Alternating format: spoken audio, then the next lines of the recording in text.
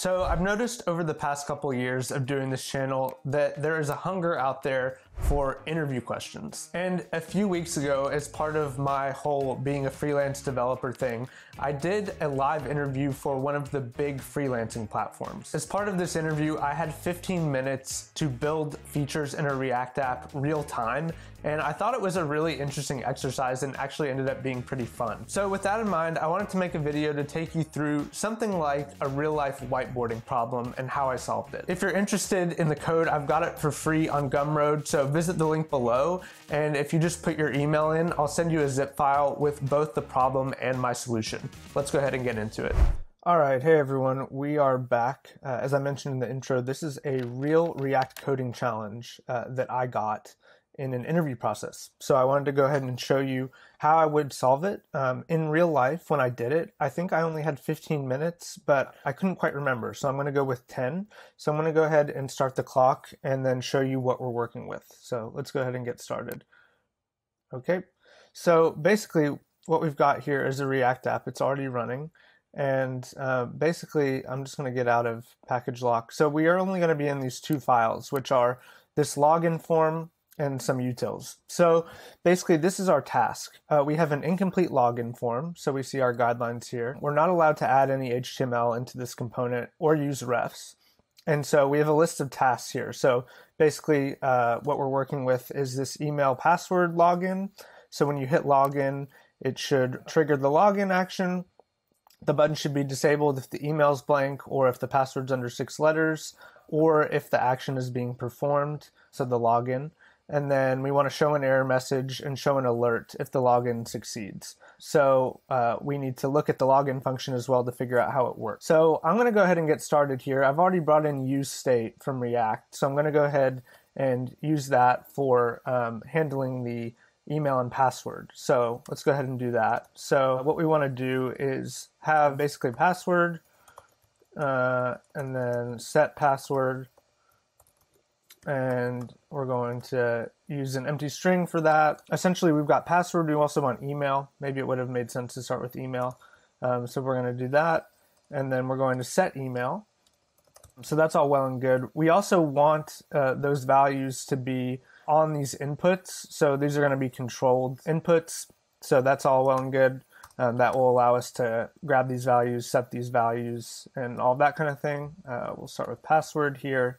And then we also want to do the same with email. Um, sorry if you can hear my fan. I think uh, this is uh, taking up a little bit more RAM than I expected to record the screen. Um, so we've got that. That's all well and good. Um, and then we've also, uh, what we want to do is we want these to update. So what we're basically saying is, at first, I just want to capture these values.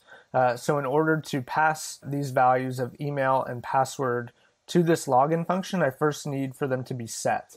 Um, so what I'm doing here is just um, setting up a basic structure for setting the values and getting the values. Um, so now that we have that here with use state, which if you're not familiar, takes the place of uh, kind of set state from class components. Uh, basically what I want to do here is I want to have an on change uh, and I want the uh, event to be passed and then I want uh, to set email to event.target.value.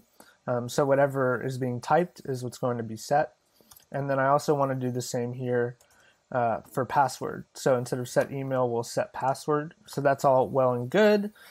And so in theory, these should be being set now. So what we want to do after that is I think work on the login function. So uh, what I'm going to do is write a function called handle login it's going to be an async function because we know in real life that would usually require a call to a server.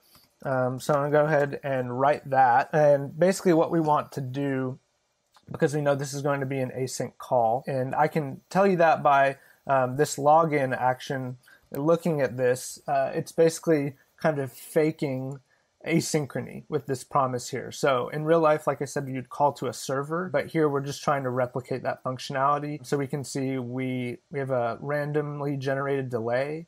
We can see that it wants email and password, but it wants them in an object. So that's interesting. Uh, and then we have this promise. Uh, we're checking password. So we the correct password is one two three. we want email to exist. And if those both aren't true, then we're going to get an error. So when we investigate, we can see that.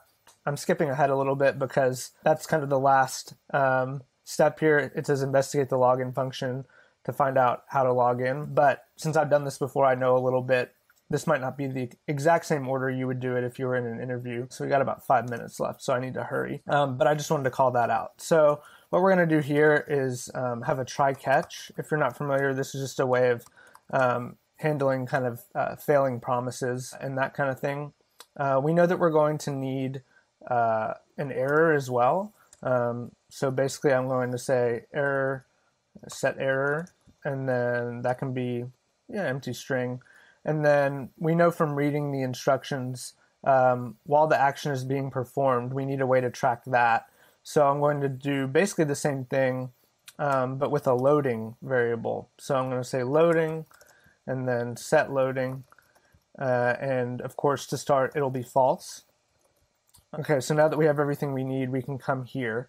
We want this handle login to fire uh, when we click this button. So I'm just going to say on click, um, handle login, and then in theory that should work. You notice I'm not checking anything yet. Um, so that's probably something you'd be doing along the way is just making sure everything fires as you expect. So um, we'll just pull up the console here, make sure we're not uh, doing anything too crazy. So, um, you know, uh, whatever, you know, uh, my email uh, seems fine, right? We're not getting errors in the console yet. So um, I'll go ahead and clear that actually.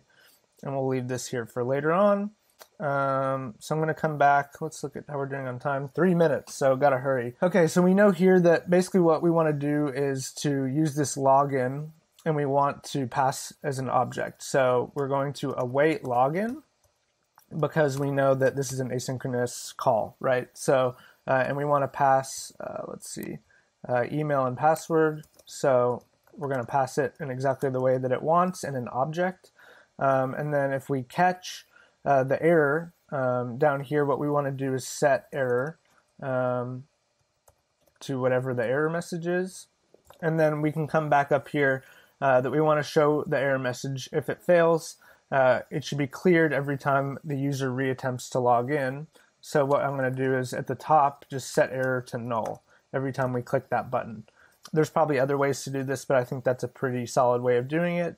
And then it says that we also want to um, basically show this error message. I'm trying to see where that is. Um, show an error message if the login fails. And so if we scroll down here, we can see this is where the error message should go um, only if there are login errors, right? So basically, we know that we have this variable error, so I'm just going to put it right there.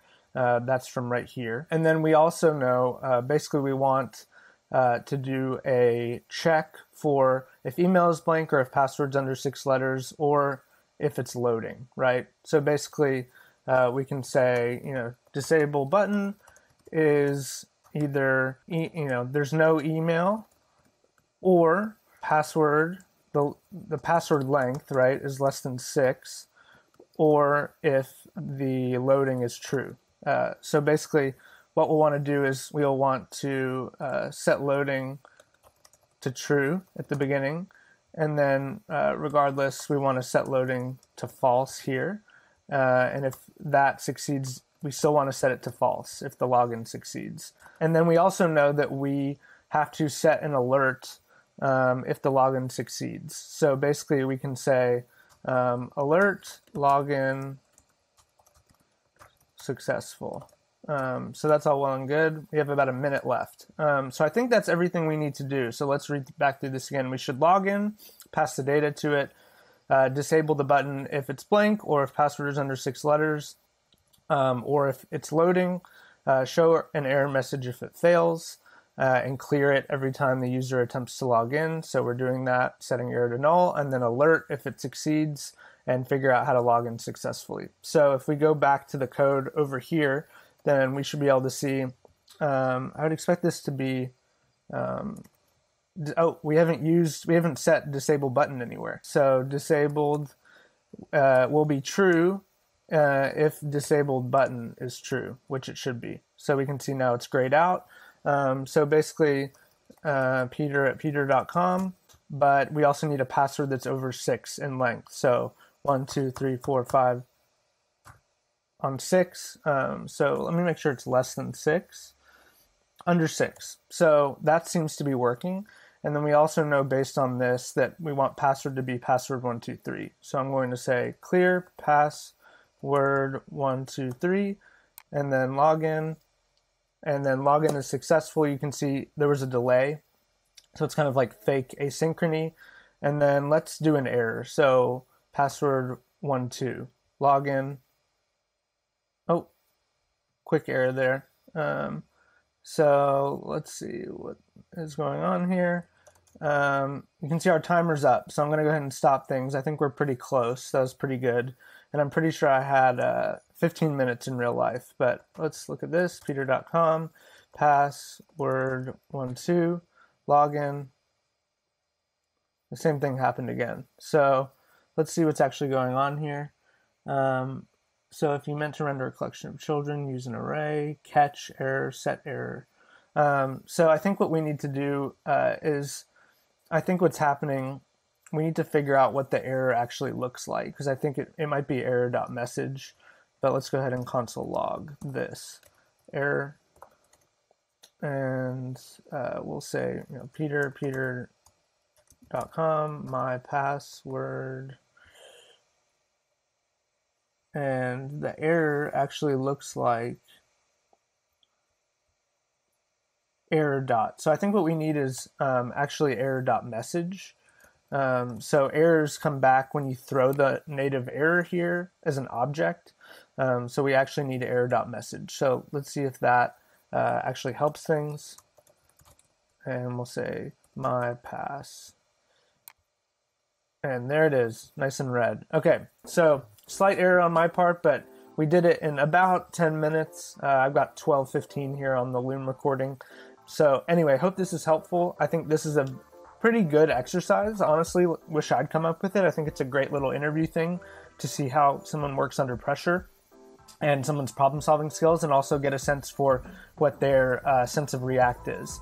Um, I had to go pretty fast. I'm pretty sure when I did this the first time it was 15 minutes, but I like a little challenge. And yeah, like I said in the intro, you can find both the starter code and my solution uh, at the link below. So uh, that will take you to a Gumroad page where all you have to do is just tell us where to send it to you, and you'll get a nice zip of both of those repos. So again, hope you find this helpful, and I will see you in the next video. Thanks.